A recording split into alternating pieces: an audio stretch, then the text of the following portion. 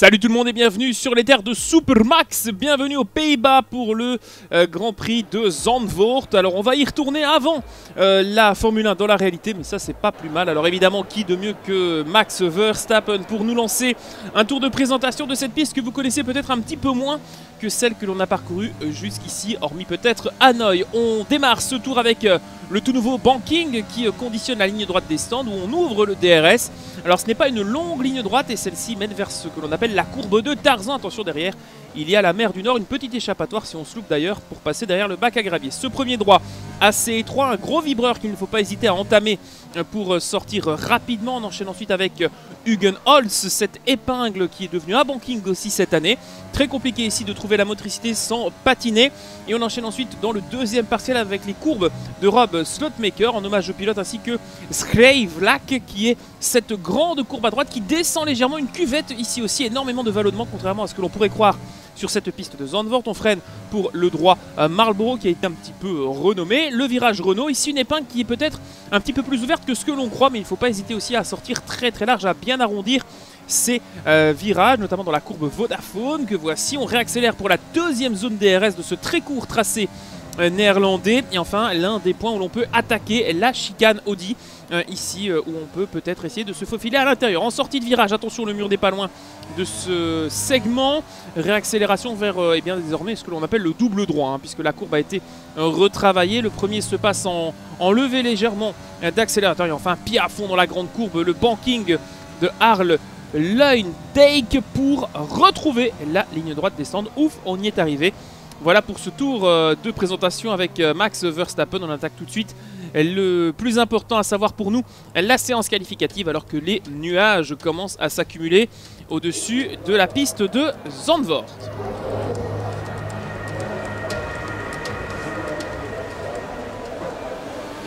Allez, on va voir ce qu'on peut faire dans cette séance qualificative.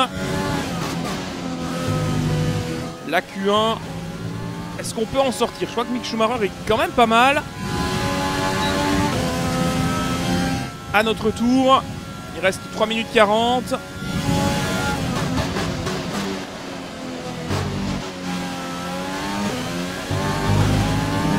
J'essaie d'avoir une voiture qui est bien assise, bien appuyée.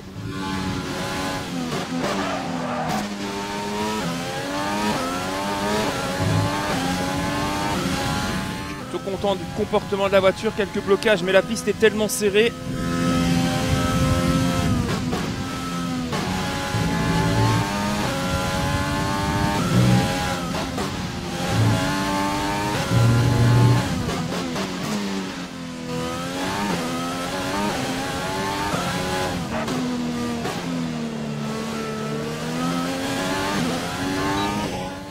Vraiment attentif, je, je, parle pas beaucoup, je vous avoue, dans cette séance qualif. Je sors des, des essais libres où la voiture était assez instable, assez inconfortable.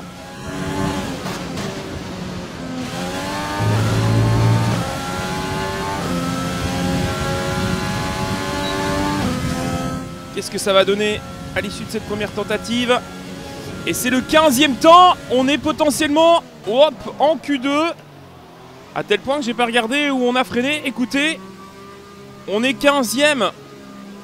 Schumacher 17e. Est-ce qu'on est capable d'aller chercher la Q2 On va le découvrir tout de suite, mais ce serait la première fois de la saison ici euh, à Zandvoort. Les résultats de cette première séance qualificative voient Valtteri Bottas prendre le meilleur temps devant Verstappen à la maison, c'est logique. Derrière, pas d'autres surprises. Malheureusement, on n'est pas en Q2, ni nous, ni Mick Schumacher qui part 17ème. On sera au mieux 21ème, euh, euh, peut-être des pénalités qui nous feront gagner une ou deux places, mais voilà, alors que Pierre Gasly a encore eu des soucis, le pilote AlphaTauri sera 20ème. Euh, on continue à jongler avec les Haas et les Williams. Dommage, on y a cru. Il y a 35 ans, Niki Loda décrochait sa 25e et dernière victoire en Grand Prix ici à Zandvoort. Après s'être élancé de la dixième place, l'Autrichien remontait le peloton pour finalement s'imposer face à son coéquipier Alain Prost pour deux dixièmes de seconde. Ce circuit fait cette année son retour au calendrier de la F1. Il a bien évidemment subi des modifications depuis l'époque de Loda et Prost, mais il n'en demeure pas moins l'un des grands classiques de ce sport. Le circuit de Zandvoort est assez court puisqu'il s'étend sur 4 km 2 et déroule 14 virages. 10 à droite et 4 à gauche, avec une ligne droite de 678 mètres avant le premier virage, connu sous le nom de Tarzan. Grâce au DRS, cette zone représentera l'une des meilleures chances de dépassement. Je salue chaleureusement Nicolas Martin qui m'accompagne dans la cabine aujourd'hui. Et si on commençait par parler de Valtteri Bottas? Ils ont remporté une belle victoire lors de la dernière course. Sauront-ils renouveler l'exploit ce week-end? Il est toujours plaisant de terminer un week-end de Grand Prix sur une note positive, mais les résultats en course sont conditionnés par ceux des essais libres et des qualifications. Il faut donc s'appuyer sur ces séances pour attaquer cette course. Après une séance de qualification extraordinaire, le moment est venu de regarder à quoi ressemble la grille de départ de la course d'aujourd'hui. Valtteri Bottas a signé une belle performance hier, le Finlandais part en tête du peloton, accompagné de Max Verstappen qui s'élance de la deuxième place. Derrière eux sur la grille, nous retrouvons Vettel, Leclerc, Alexander Albon et Stroll, Ricciardo, Perez, Norris et Carlos Sainz, Hamilton, Ocon, Daniel Kvyat Raikkonen, Giovinazzi, Grosjean, Mick Schumacher et Kevin Magnussen. Russell, Gasly, la pilote et Nicolas Latifi. Il est presque l'heure du départ, dirigeons-nous vers la piste pour ce nouveau Grand Prix.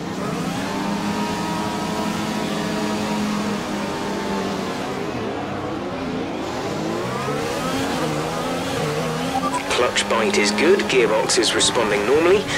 Make sure to warm up the tyres and brakes. Warm the tyres and brakes throughout the lap.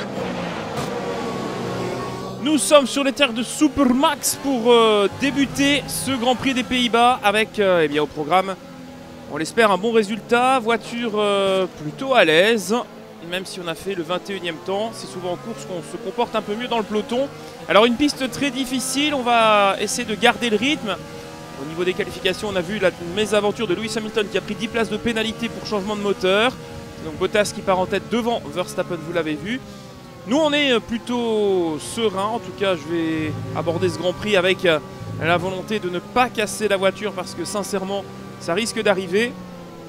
Je pense qu'en termes de fiabilité, ici, on va perdre peut-être un ou deux pilotes. Y aura-t-il un accident? C'est possible. En tout cas, la piste est à l'ancienne, on le sait. Les bacs à gravier sont proches de la piste et donc il ne faut pas faire de bêtises. J'espère que ce Grand Prix se passera bien, notamment pour Mick Schumacher. Quand même qualifié 17ème, c'est vraiment pas mal ce qu'il est en train de faire Mick. On a un bon équipier qu'il faut continuer à faire évoluer. Sinon, eh bien, il sera remplacé. Mais pour l'instant, je trouve qu'il fait un très bon travail. En dépit de quelques contacts où il casse son aileron depuis le début de la saison. La fameuse section du banking qui conclut désormais hein, ce circuit de euh, Zandvoort. Alors tout le orange dans les tribunes, ce n'est pas pour nous, hein, on se doute bien. Carros n'a pas autant de supporters euh, ici, même si ça a été l'équipe euh, papa de Max Verstappen. Mais bon, on va faire comme si, et on s'élance pour ce cinquième Grand Prix de la saison.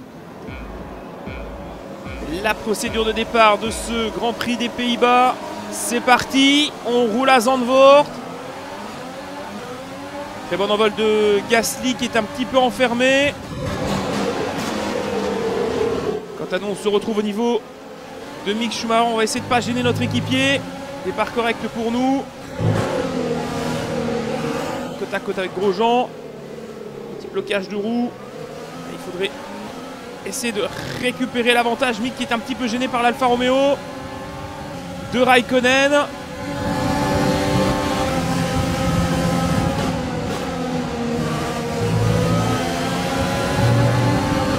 Départ correct.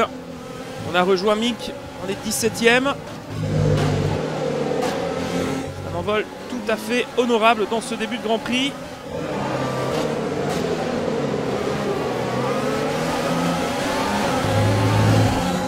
DRS au troisième tour, évidemment, Hamilton qui tente déjà de remonter. On le voit en bagarre avec euh, des euh, McLaren. Et on a été poussé là, touché même par euh, Grosjean. Encore une fois, très agressif les As.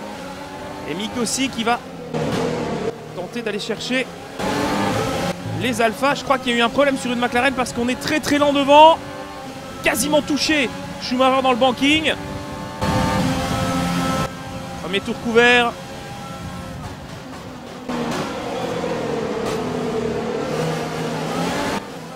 Toujours blotti derrière Schumacher.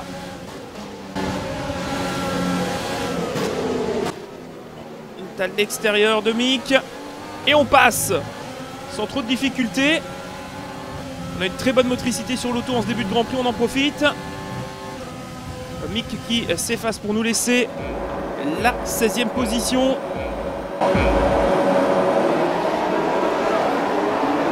Pour l'instant, pas d'état de fonctionner. Et qui tient le rythme sur un tourniquet où il faut vraiment être bon en réaccélération. C'est pourtant pas là où on est plus à l'aise. Mais dans les enchaînements rapides, la voiture marche bien, on en profite. Notamment grâce au souci de la McLaren devant qui a dû casser un morceau d'aileron et qui est donc logiquement moins rapide.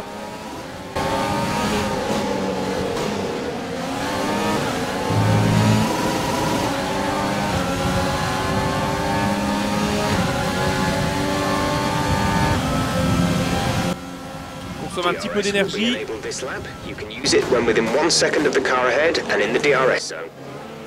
DRS disponible évidemment dans ce troisième tour.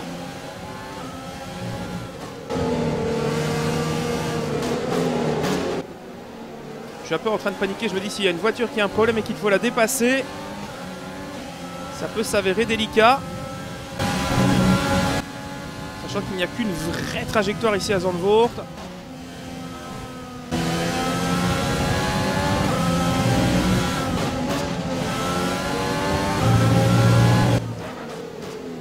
C'est assez hallucinant de recourir ici.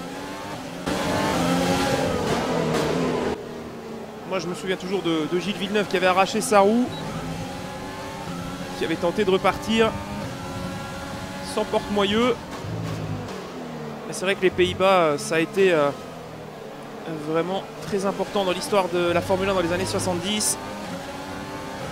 Alors c'est un petit peu bizarre de se dire ça qu'en 2020 on est à Zandvoort, mais c'est génial. Est-ce qu'on peut aller chercher un Raikkonen? Une voiture qui est légèrement déventée, j'ai du mal de la tenir. En fait c'est le force feedback là, qui m'a empêché d'ouvrir mon DRS. Par contre j'aime beaucoup attaquer dans l'épingle.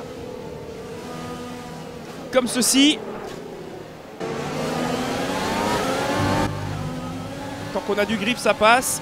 Ça a pu passer avec Mick tout à l'heure, mais attention, ça commence à être glissant. Piste très sale, hein. beaucoup de sable évidemment.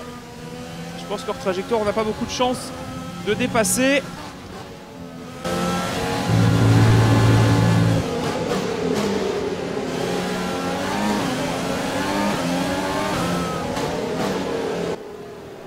C'est délicat aussi pour l'une des Renault qui est un petit peu en retrait. Drapeau jaune, attention voiture en difficulté.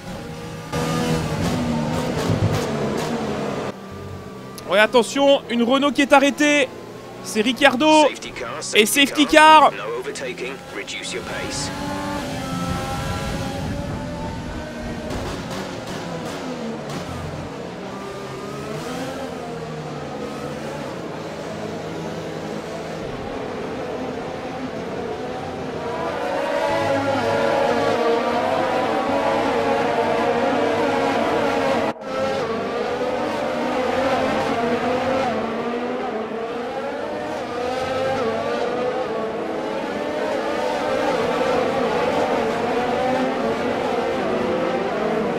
Delta number positive as we form up. Drop your speed, our delta is too low and we risk a penalty. Slow your pace immediately. Alors on va tenter un coup de poker puisqu'on n'a absolument rien à perdre. On va rentrer.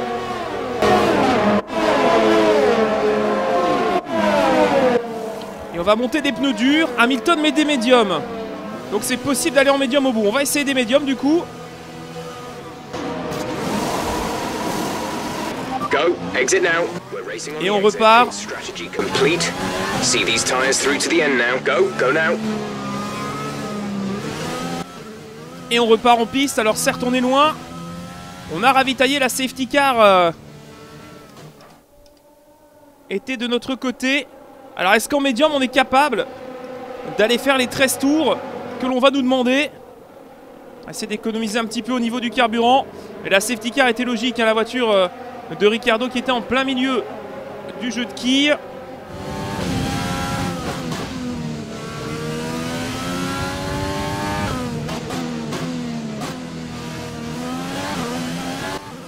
On n'a pas perdu trop de temps, je peux désactiver maintenant le mode ERS. Et nous voici donc sous voiture de sécurité. Qui a ravitaillé, il y a Hamilton, Norris. Je crois que Magnussen et Grosjean. Les deux ont ravitaillé également. Et je vois qu'il y a aussi une Racing Point. C'est un peu tôt. Okay, let's get ready to go racing again. The safety car is in this lap. When the field accelerates, remember, there is no overtaking until the green flags. Safety car in this lap. Retour du pace car dans la pit lane à la fin de ce sixième tour de course. 12 boucles à effectuer avec euh, les pneus médiums. C'est parfaitement jouable. En tout cas, on a fait le pari qu'a fait Lando Norris ou Lewis Hamilton, les deux Anglais qui sont de notre bord. Alors on va voir la relance. Allez, c'est parti. Lando Norris qui est déjà en train d'essayer d'aller chercher Hamilton, nous aussi. Freiné beaucoup trop tard. J'ai été surpris, le contact avec Norris qui insiste. Il y a une Racing Point qui a perdu des places, on est passé, on est 16ème.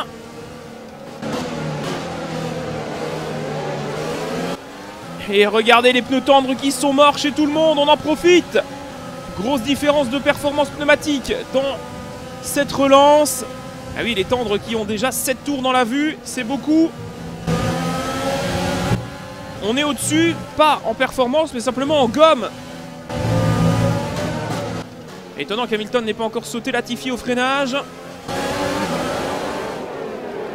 Et dites-vous que tout cela vont ravitailler. Et Mick Schumacher, lui aussi, devra piter sous drapeau vert. C'est vrai qu'on a eu beaucoup de chance de savoir rentrer aussi rapidement. Pendant que d'autres n'aient pas opté pour cette euh, stratégie avec des pneus tendres. Mais je pense que ça va rentrer maintenant pour pas mal de monde. On va faire un point sur le classement, mais on va remonter de nombreuses places. Encore faudra-t-il les tenir. On a un gros coup de poker à jouer dans ce Grand Prix des Pays-Bas. Est de perdre la voiture alors qu'on attaque la Williams. Deux voitures dans les stands. Et Russell qui ne veut pas lâcher. Finalement qui nous laisse l'avantage. Pierre Gasly devant. Par contre, on va avoir un énorme décalage avec les autres au niveau pneumatique, ça va être dur après. hein. Là, pour l'instant, on est en train de voler, mais dites-vous qu'après, eux vont avoir des pneus 2 voire 3 tours plus frais que nous. On a eu l'arrêt d'une Red Bull, d'une Ferrari aussi dans ce huitième tour. Va-t-on avoir droit à d'autres stops? Pour l'instant, on est dans les points pour Mick Schumacher, mais ce n'est pas à la régulière, mais c'est mentionnable. Je rappelle que pour les sponsors, il ne faut pas encore euh, mener deux tours après la safety car on récupérera le DRS, c'est toujours pas le cas. Et je garde vraiment mon ERS pour la suite des hostilités. C'est vrai que chaque fois qu'il y a un pace car, toutes les cartes sont redistribuées. If you think you can get past, make use of the overtake button and see what you can do. Et on continue avec les pneus tendres pour pas mal de voitures. DRS is now enabled. Pas d'arrêt encore devant. On va les emmener loin, les tendres. C'est vrai qu'on pouvait faire 8 ou 9 tours à la régulière. Donc nous, on a pité très très tôt. Et même en freinant délicatement ici, je suis encore à, à bloquer les roues. Donc, au niveau de la répartition de freinage, on est vraiment sur l'avant. Mais j'évite vraiment d'utiliser mon ERS tant qu'on n'est pas en lutte pour autre chose.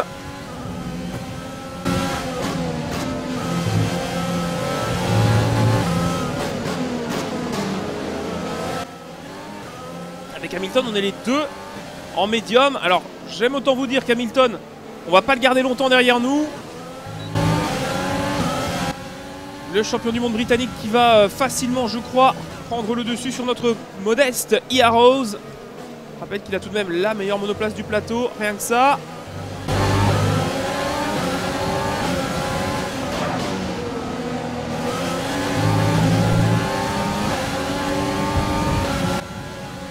Contre, dans le banking, on prend l'avantage. On a le DRS, Hamilton aussi. Et on On est cinquième derrière Mick Schumacher. Ah, il faut faire une photo là. Faites un clip de ce qui est en train de se passer. Il y a Rose qui a ses deux voitures dans le top 5, c'est pas tous les jours.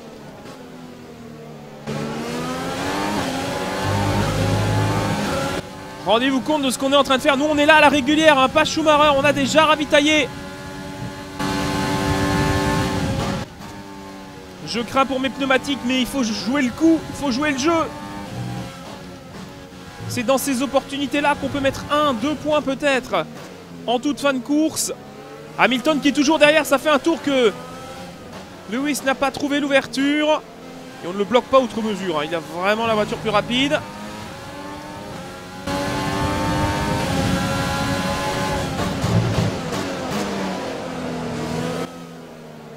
Derrière, on a Lando Norris. Hein. On est les trois pilotes qui ont ravitaillé sous safety car. Et je crois que Mick va rentrer à la fin de ce dixième tour. C'est énorme. On a fait 10 tours en pneus tendres. Alors, il y a eu les tours sous pace car, évidemment. Voilà, retour dans la pit lane pour Mick. Lewis qui va récupérer l'avantage. Ah, quoique, allez, on va essayer de se battre un petit peu. Non, il n'y a pas moyen.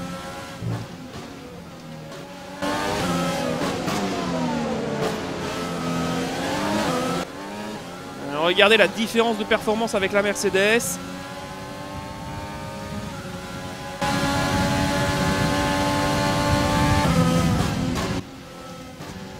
Lando Norris qui est une seconde une derrière nous.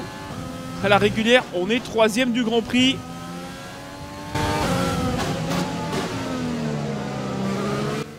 Mais tout ceci est évidemment dû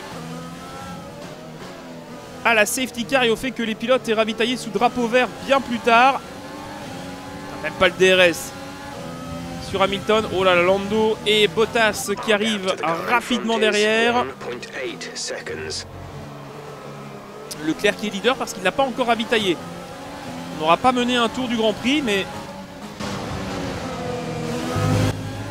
on est dans le rythme.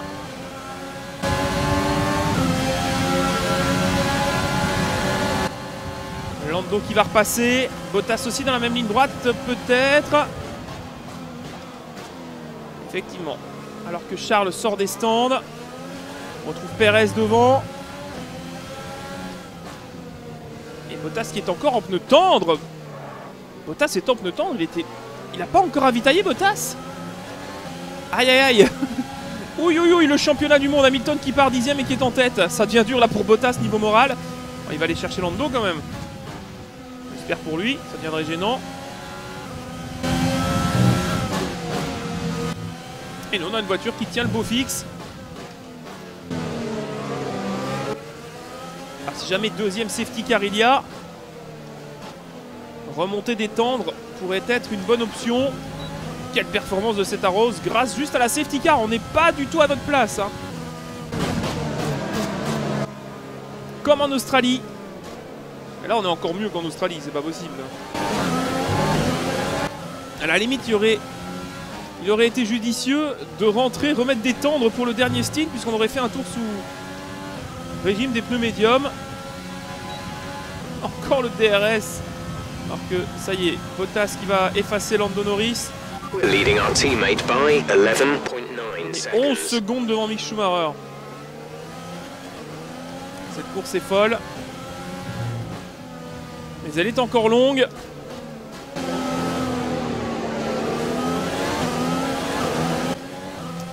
Perez, Leclerc et je crois Verstappen sont derrière.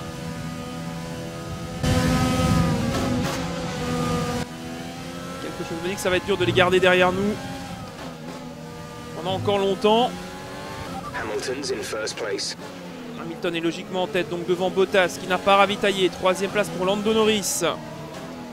Pour la stratégie de Bottas, là je la comprends pas. Oh, les pneus sont en train de me lâcher. Les pneus qui viennent de me lâcher. Et Bottas qui me parle à la radio avec ça. C'était pas facile de gérer, on est en plein trafic. Et Perez qui allume ses pneus devant nous pour nous aider. on est bon niveau carburant, on est bon niveau ERS. On va pouvoir jouer avec les autres et la SPI. Hein. Il n'est pas fini ce Grand Prix des Pays-Bas. Imaginez qu'on va aller doubler une Racing Point.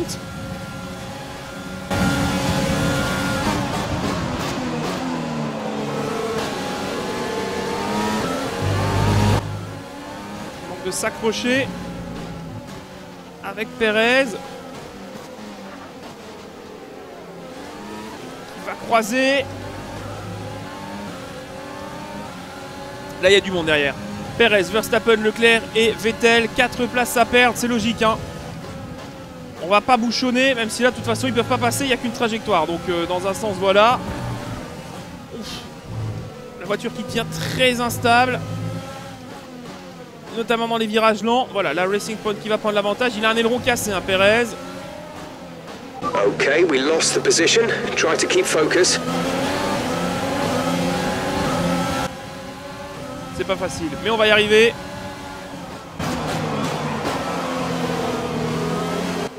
Là, par contre, sans euh, DRS, avec tout le peloton qu'il y a derrière, la fin de course va être très difficile. Meilleur tour pour Valtteri Bottas en une 12 900. On tourne en une 14 8. On est 3 secondes quasiment moins vite pour notre meilleur tour, bien sûr.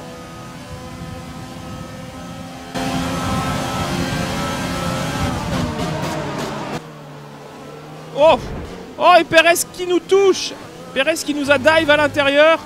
Et tout le peloton qui est arrêté maintenant derrière Perez. Alors, il était à notre hauteur, mais on l'a pas vu. Alors, par contre, là, si tout le monde passe, c'est la fin de, nos espoirs. On a un peloton derrière qui est équivalent à un, départ de Grand Prix. Bottas qui est toujours en temps, donc il serait parti en médium, Bottas.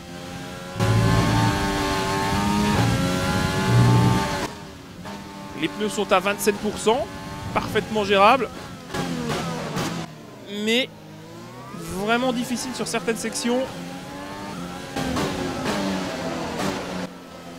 Perez qui est à 1 seconde 4.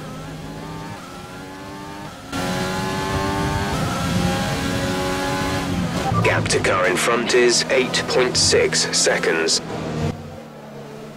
Regardez le peloton derrière Verstappen qui est repassé. Alors notre grande chance c'est que Perez en fait, avec son aileron cassé, retient les autres. Maintenant que Perez est passé, Derrière Verstappen, ça va être compliqué. We're about a lap over target. Drop down to mix too soon. Gap to teammate behind is 5.8 seconds. 5 secondes derrière pour Mick Schumacher. Et oui, logiquement Perez dans les stands, il a cassé son museau. We have two laps of fuel remaining. Deux tours dans ce Grand Prix, Verstappen qui est derrière.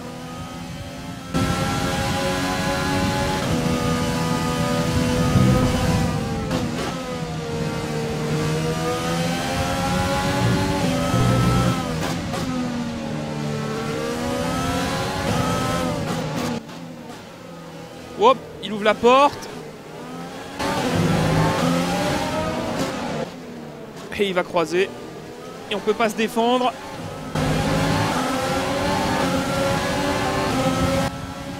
Passage de Leclerc et de Vettel. Ouf, Vettel qui a beaucoup bloqué. Là, j'ai plus qu'il faut pour me défendre. Grosjean qui est de- derrière. Attention, Romain Grosjean qui est derrière. Ça, il faudra surveiller pour la suite. Au niveau du classement avec Haas.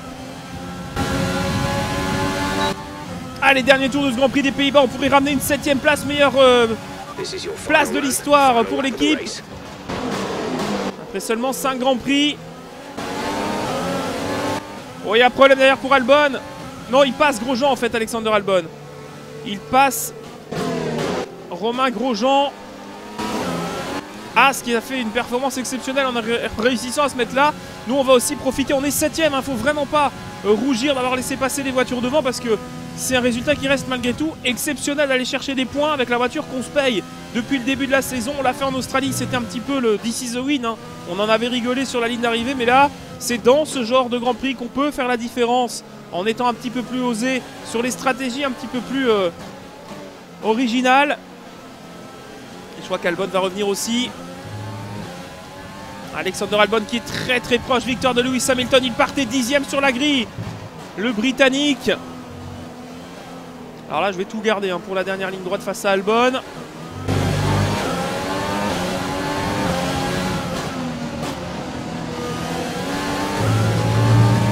Allez jusqu'au bout. Et on va réussir à signer une exceptionnelle septième position, meilleure place de l'histoire de l'équipe, grâce à la safety car. Ferme. Et on est driver of the day, bah évidemment Quelle performance Et on a appliqué la même stratégie qu'Hamilton. L'écurie Mercedes a produit une magnifique performance aujourd'hui et ils peuvent en être fiers. Nicolas Martin, qu'est-ce qui, à votre avis, leur a permis de faire la différence aujourd'hui? Je pense qu'il fallait se trouver au bon endroit au bon moment. La course avait une toute autre physionomie avant l'entrée en piste de la voiture de sécurité. Ils ont profité à fond de l'entassement du plateau. Je vois les pilotes s'approcher du podium pour la remise des prix. C'était une véritable victoire d'équipe aujourd'hui, un bel exemple sur tous les plans. Toutes nos félicitations à Mercedes, les grands gagnants du jour.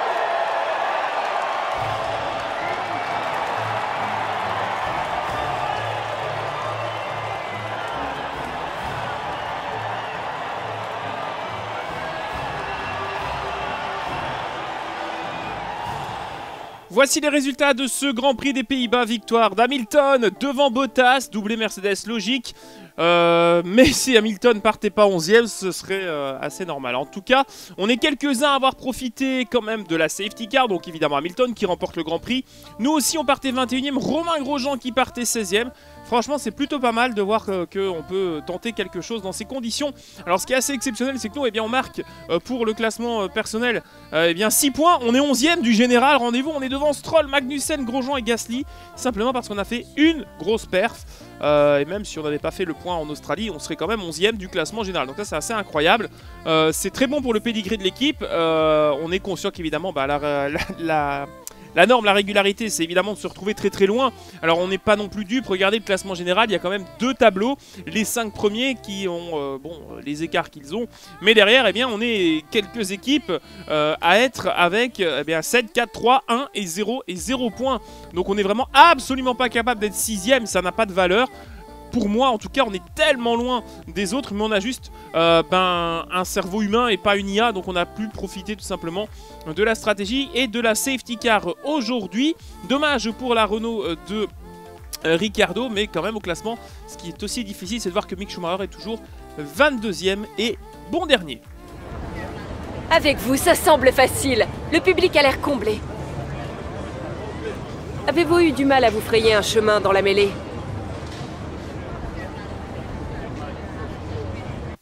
J'avais beaucoup d'adhérents. C'est vrai que la voiture était vraiment facile à piloter. Votre équipe doit être ravie de votre performance. Euh, faut pas se relâcher, effectivement. Euh, on est un peu sur un, nuage, mais quand même. Bien, ce sera tout, merci.